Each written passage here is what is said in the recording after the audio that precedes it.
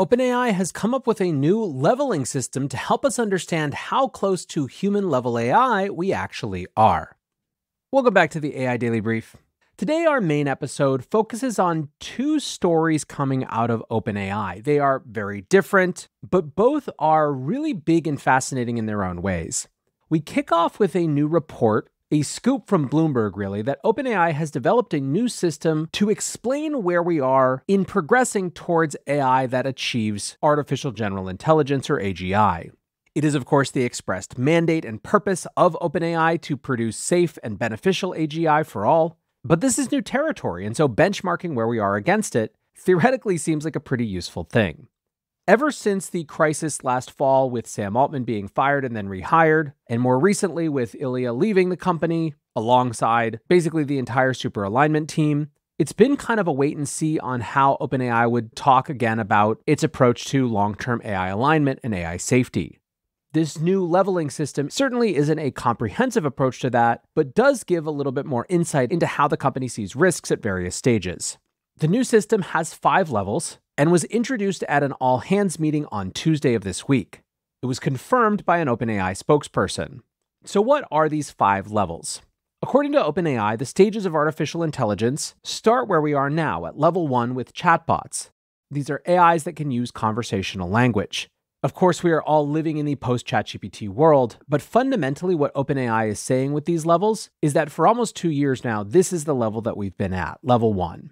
Presumably, then, level one does not represent some big risks. There isn't really anyone out there saying that this sort of GPT 4.0, Claude 3.5 type of capacity is a real risk.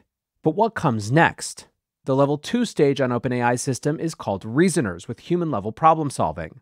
According to Bloomberg, at the meeting where they introduced this leveling system, execs at the company told employees that they believed that while we were on the first level, we were on the cusp of reaching the second. Adding a little bit more color, Bloomberg writes, this refers to systems that can do basic problem solving tasks as well as a human with a doctorate level education who doesn't have access to any tools. To point out how this version would differ, Bloomberg writes, Company leadership gave a demonstration of a research project involving its GPT 4 AI model that OpenAI thinks shows some skills that rise to human like reasoning. This part was not confirmed by the OpenAI spokesperson, who simply said that they are, quote, always testing new capabilities internally. Now, you may note that level two is not the thing that everyone has been excited about for more than a year, which is agents. That comes at level three. The level three stage is agents or systems that can take actions. At level four, we have innovators, AI that can aid in invention. And at level five, organizations, AI that can do the work of an entire organization. A couple more caveats. This is not necessarily a final determination. This was created by a set of OpenAI executives and is meant to be a work in progress.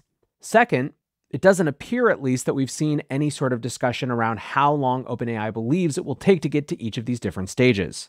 I will note that I did see on Twitter today someone who claimed that they had sources in their DMs saying that they had actually interacted with GPT 5, although that tweet came down later, so make of that what you will. If you head on over to Metaculus, which is an interesting place to get a crowdsourced sense of when people who are pretty well informed think different milestones will be hit within AI, the current betting among 652 forecasters around when OpenAI will announce GPT-5 is January 13th of next year, 2025. I will also say that while we've only started to see conversation around this system hitting X slash Twitter, people aren't necessarily totally convinced, or at least they don't feel like they have enough information to really understand. Mario Canistra writes, Strange list. It seems to me that as soon as you get to level 2, you also get 3, 4, and 5, unless there is a weird definition of human level, Humans can do all these things, so human level AI should be able to do all those things. Others, like Matt Garcia, points out that level 5 organizations kind of sounds like advanced superintelligence. Pseudonym writes this would be a better way to structure an at home agent flow. And Steph writes once you reach level 2, level 3 should be a piece of cake. I'm probably wrong, but just by making AI have access to APIs, it should become an agent if it can already plan things. I will be interested to see whether anyone else picks up this discussion over the next couple weeks, or whether this will mostly remain on the drawing board. Second OpenAI story, one that has much more to do with the state of US policy in AI, Microsoft and Apple are both getting rid of their OpenAI board observer roles. So, first, a little bit of background. Microsoft has obviously had a long standing relationship with OpenAI, but it wasn't until after the debacle last November that it took a formal board observer role. More recently, really just a week ago, we learned that Apple would be getting an equivalent board observer role, as part of its deal to put ChatGPT onto the iPhone. Now, however, it appears that antitrust concerns have made those big tech companies rethink that relationship. The reality is that we have very little information around what drove this. Presumably, it has to do with antitrust scrutiny, which has been on the rise in general. Writes Martin Peers at The Information Given that Microsoft's board observer role seems to have intensified regulatory scrutiny of its OpenAI relationship, both in Europe and in the US, it's possible Microsoft and Apple decided the positions weren't worth the hassle. OpenAI can update both companies on whatever is necessary in private meetings, as it indicated it would do going forward. So here, basically, Martin is arguing that a board observer role is exactly that. It's an observer role. Doesn't have any power to actually shape or influence things or be a part of any sort of voting. And so, to the extent that that role is just about visibility and insight, but it increases regulatory pressure, well, just figure out some way that isn't enshrined as a board observer to do the same sort of information sharing.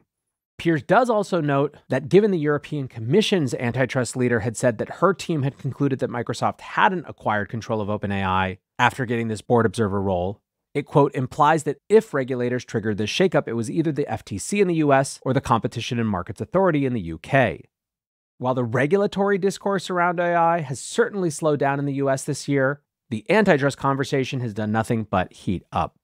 For now, though, that is going to do it for this quick episode today. Appreciate you listening as always. And until next time, peace.